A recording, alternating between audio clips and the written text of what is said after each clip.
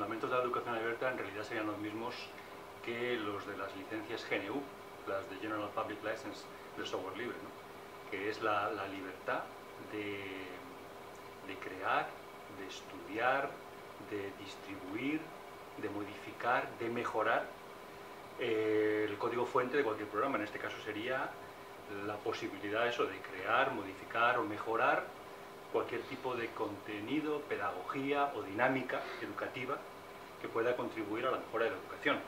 Es decir, para mí en un panorama en el que todavía el problema fundamental y radicalmente eh, preocupante sigue siendo la desigualdad eh, en la escuela, fruto de, las desigualdades eh, sociales, la posibilidad de generar una comunidad de, práctica y de aprendizaje en la que toda la comunidad educativa participe y ponga en común todo ese conocimiento compartido eh, y por tanto refine las herramientas necesarias para que se disminuya esa brecha entre los estudiantes me parece esencial ¿no? y para mí eso es la educación.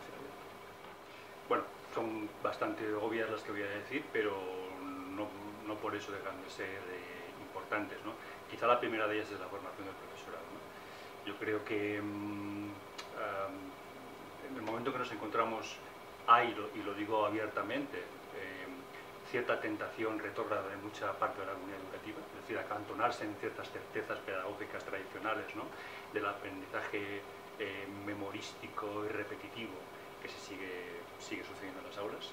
Eh, y yo creo que es esencial que los eh, profesores formen parte de esa comunidad de práctica y de aprendizaje y pongan en funcionamiento esas nuevas pedagogías en el aula. Eso por una parte.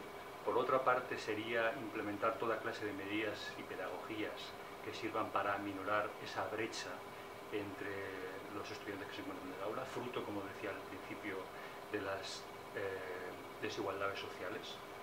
Sigue siendo eh, fundamental que em, los eh, profesores se preocupen de fomentar la evolución personalizada de cada uno de los alumnos, que intenten que cada cual desarrolle sus competencias y talentos y que no queden atrás en ningún caso.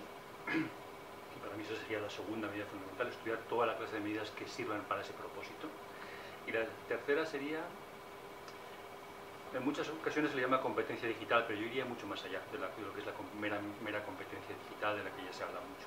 Sería la de preocuparse por enseñar todos los lenguajes, me refiero a todos los lenguajes, ¿eh? toda clase de lenguajes que sirvan para crear, interpretar, producir eh, contenidos.